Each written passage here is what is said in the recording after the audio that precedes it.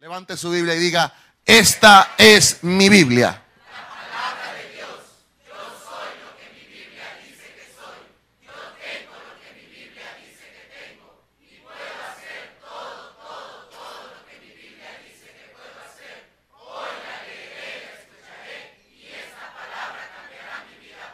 ¿Por qué?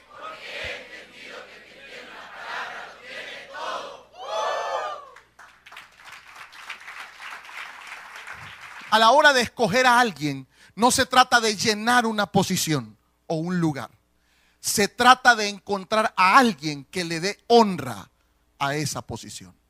Hay gente que como ve el espacio vacío, quiere llenarlo con alguien.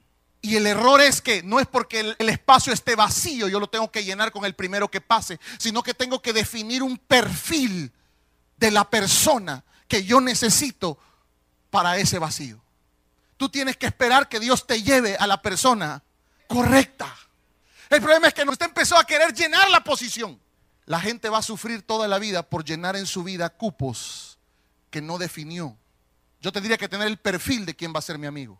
¿Por qué te hiciste amigo de esa persona? Porque somos compañeras. O sea, no fue una escogitación de cuál iba a ser mi amigo. Simple y sencillamente nos sentamos en el pupitre, nos vimos, pelamos dientes, llené un cupo en mi vida, metí a alguien en mi vida, no porque yo decidiera, no porque yo quisiera, sino que porque estaba vacía la posición. La silla estaba vacía. Siéntese. Eso es lo que ocurre. Nosotros empezamos a llamar gente a nuestra vida, empezamos a meter gente en nuestra vida no por el perfil de lo que necesitamos, sino porque el lugar está vacío. Un ejemplo claro de esto. Primero Samuel 8. Aconteció que habiendo Samuel envejecido, puso a sus hijos por jueces sobre Israel. Y el nombre de su hijo primogénito fue Joel, y el nombre del segundo fue Abías. Pero no anduvieron los hijos por los caminos de su padre, antes se volvieron tras la avaricia, dejándose sobornar y pervirtiendo el derecho. Entonces todos los ancianos de Israel se juntaron y vinieron a Ramá para ver a Samuel. Y le dijeron, he aquí, tú has envejecido y tus hijos no andan en tus caminos. Por tanto, constitúyenos ahora un rey que nos juzgue, como tienen todas las naciones. Pero no agradó a Samuel esta palabra que dijeron, danos un rey que nos juzgue. Y Samuel oró a Jehová y dijo Jehová a Samuel, Oye la voz del pueblo en todo lo que te digan, porque no te han desechado a ti, sino a mí me han desechado, para que no reines sobre ellos.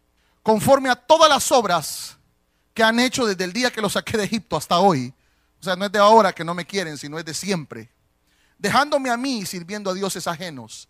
Así hacen también contigo, tranquilo. Ahora pues, oye su voz, mas protesta solemnemente contra ellos y muéstrales cómo les tratará el rey que reinará sobre ellos. Y refirió Samuel todas las palabras de Jehová al pueblo que le había pedido rey. Dijo pues, así hará el rey que reinare sobre vosotros. Tomará vuestros hijos y los pondrá en sus carros y en su gente de a caballo para que corran delante de su carro. Y nombrará para sí jefes de miles y jefes de cincuenta miles.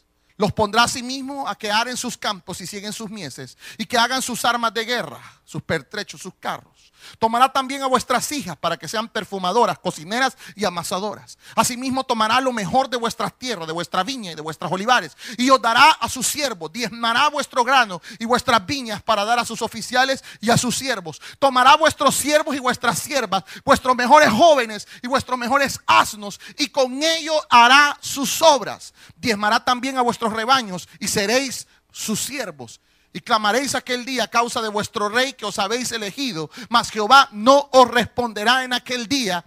Pero el pueblo no quiso oír la voz de Samuel y dijo, no, sino que habrá rey sobre nosotros. Y nosotros seremos también como todas las naciones, y nuestro reino gobernará.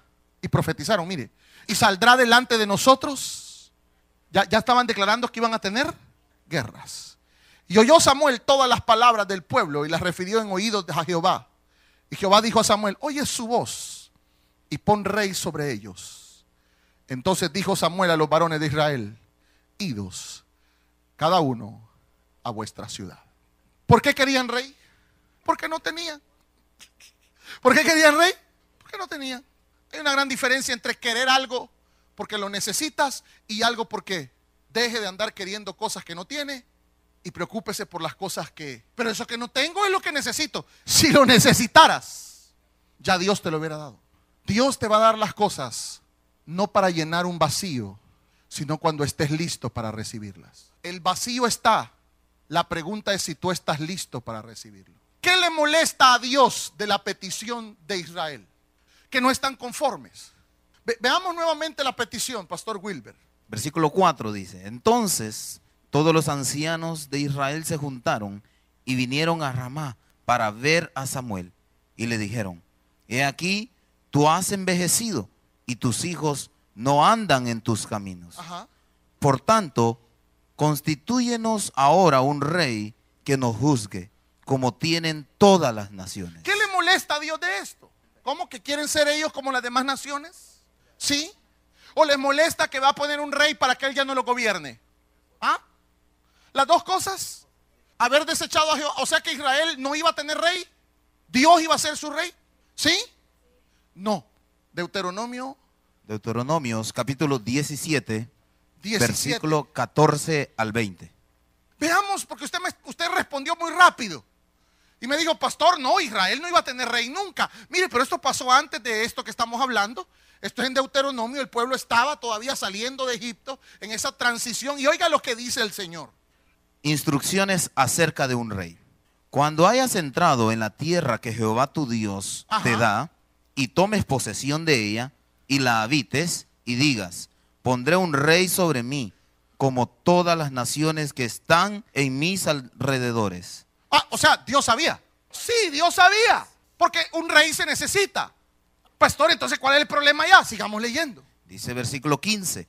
Ciertamente pondrás por rey sobre ti al que Jehová tu Dios escogiere.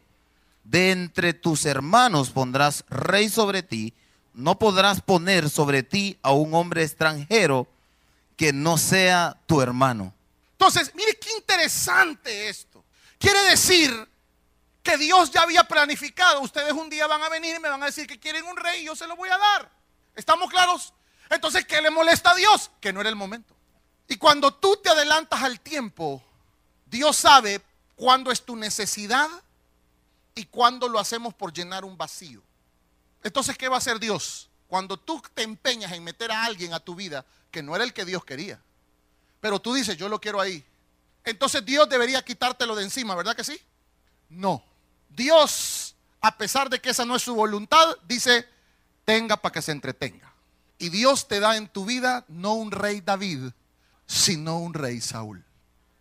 Porque para meter a alguien en tu vida tú tendrías que haber tenido un perfil. ¿Qué tengo en mi vida?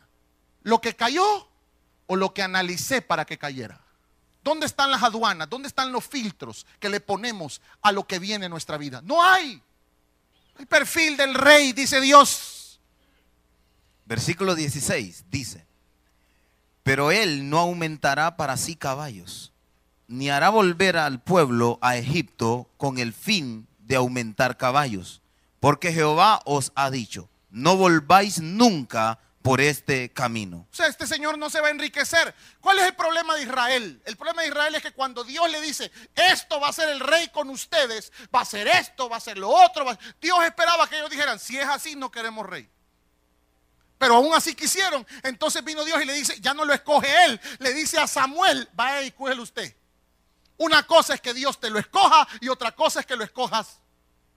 Entonces hay algo interesante. Samuel se encuentra con un hombre llamado Saúl. Saúl andaba buscando unos burros. Iba pasando y de repente se le pierden los burros. ¿Estamos claros? Y después se encuentra con el profeta. Él le dice al profeta, profeta, ayúdame. Después le quiere llevar una ofrenda al profeta, ni ofrenda llevaba. O sea, un tipo, hermanos. El día que lo ungen, él no sabe qué está pasando. Vean lo que dice ahí Primera Samuel capítulo 10, versículo 1. Tomando entonces Samuel una redoma de aceite, la derramó sobre su cabeza y lo besó y le dijo, ¿no te ha ungido Jehová por príncipe sobre su pueblo Israel? ¿Ah? Agarra una redoma de aceite, ¿el qué hace? ¿Lo qué? Lo unge, lo besa y me imagino que la cara de Saúl era... Oiga hermano, si a mí el profeta de Dios agarra un guacalito con aceite y me lo echa a caer en la cabeza y me da un beso, ¿qué está haciendo conmigo? Y yo estoy... O sea, el tipo le está cayendo el aceite, lo está besando el hombre de Dios. Beso es señal de pacto. Le está dando un beso y él no entiende lo que está pasando.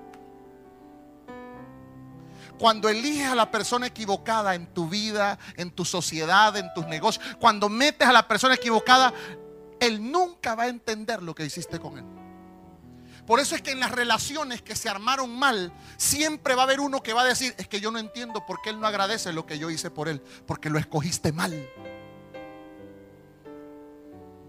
Porque cuando no es Dios el que lo pone cerca de ti y eres tú quien lo busca, ese nunca se va a enterar de quién eres tú. Y por eso es que yo tengo amigos que vienen conmigo y me dicen, es que nunca me valoró, es que nunca me amó, es que nunca supo que cuánto valía yo. ¿Sabes por qué? Porque ungiste a la persona. Una redoma es un trasto hecho de, de barro. Hay otro hombre después de este al que el mismo profeta unge. Y lo unge con una redoma también, ¿verdad? No. A Saúl lo ungen con algo hecho por los hombres. A David lo ungen con un cuerno. Porque para que tu unción sea legal, algo tuvo que morir para que a ti te ungieran. Algo tuvo que morir. Por eso es que, pastor, voy a escoger a esta persona. ¿Qué murió en ti para escoger a esa persona? Por eso es que la Biblia te dice, nunca te juntes con yugo desigual. Porque para que tú te metas con alguien, ese debe, tendría que haber muerto a sus pecados. Para que tú hagas negocios con alguien, ese tuvo que haber muerto. Pero si nunca murió, no entiendo por qué la queja, por qué tu malestar. capítulo 16 de 1 Samuel. Vamos a esa historia y con eso terminamos. 1 Samuel, capítulo 16, del versículo 1 en adelante. Dice la Biblia, 1 Samuel 16, 1. Dijo Jehová a Samuel, ¿hasta cuándo llorarás a Saúl habiéndolo yo desechado para que no reine sobre Israel? Llena tu cuerno de aceite y ven te enviaré a Isaí de Belén, porque de sus hijos me he provisto de rey. Llena tu cuerno de qué? Una redoma era una pailita. A Saúl le cayó un poquito de unción. A David le llenaron el cuerno, hermanos. ¿Sabes cuál es el problema? Que cuando tú metes a alguien solo para llenar un vacío, no hay mucho de Dios en eso. No es como que Dios te lleve a ti a Él. Saúl llegó a Samuel. Samuel llegó a David. Lo repito. Saúl llegó a Samuel. Samuel fue mandado. No es lo que yo encuentro si no es lo que me mandaron a buscar.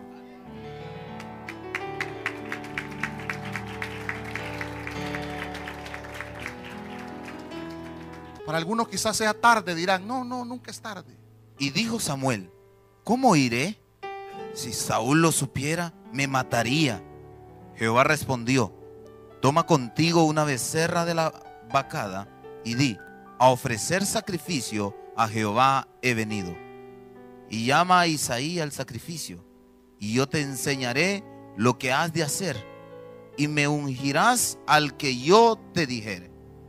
Hizo pues Samuel como le dijo Jehová, y luego que él llegó a Belén, los ancianos de la ciudad salieron a recibirle con miedo y dijeron, ¿es pacífica tu venida? Él respondió, sí, vengo a ofrecer sacrificio a Jehová, santificaos y venid conmigo al sacrificio. Y santificando él a Isaí y a sus hijos, los llamó al sacrificio. Y aconteció que cuando ellos vinieron, él vio a Eliab y dijo, de cierto delante de Jehová estás ungido. Y Jehová respondió a Samuel, no mires a su parecer, ni a lo grande de su estatura, porque yo lo desecho. Porque Jehová no mira lo que mira el hombre, pues el hombre mira lo que está delante de sus ojos, pero Jehová mira el corazón.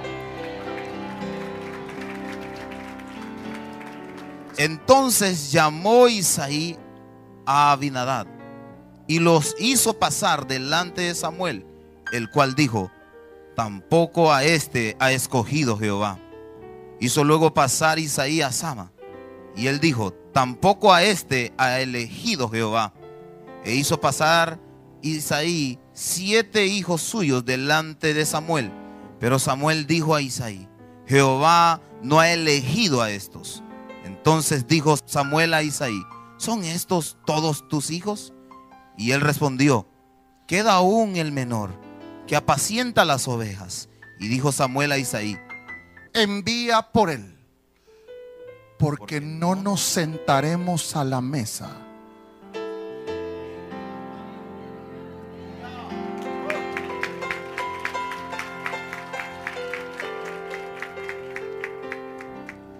Yo prefiero estar parado y esperando que sentado con la persona equivocada.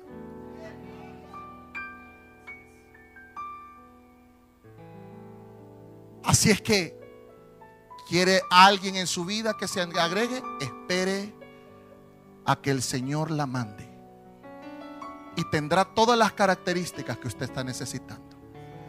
Ya deje de meter personas a su vida que lo único que va a conseguir es tener un Saúl y no un David. Cierre sus ojos, por favor. Si hay alguien aquí que dice, pastor, yo he metido en mi vida muchos Saúles. Yo no te voy a pedir que vengas al altar ahora, solo quiero que te pongas de pie ahí donde estás. Si usted ha metido muchos Saúles en su vida, en su familia, en su negocio, en su empresa,